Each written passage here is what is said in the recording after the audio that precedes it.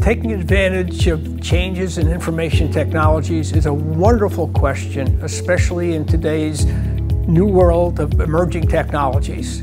We know that the world is going through profound changes, not just technological changes.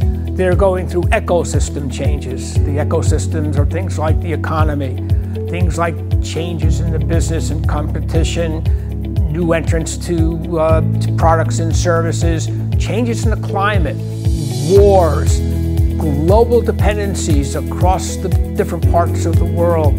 All of these things are going on at the same time. Very complicated changes, any one of which would drive a business executive or an IT executive crazy. But then there are also the technology changes.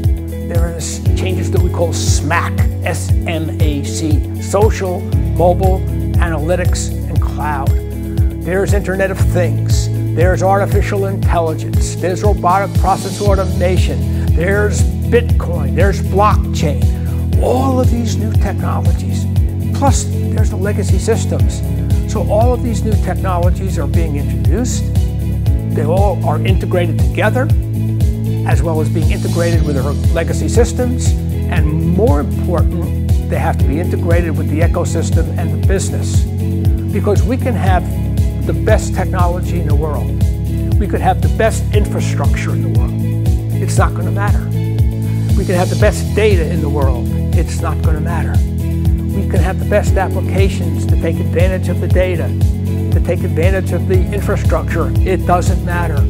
What matters is how the business changes what they do that takes advantage of the applications provided by information technology that leverages the data that runs on the infrastructure you don't have all of those things working cohesively together, it's not going to work. So this is the most exciting time in the world to be either an IT person or a non-IT person, to recognize and understand not just the technologies that are being introduced today, but the impact that these technologies can have, will have on every business, every industry, because every company is becoming an information technology company.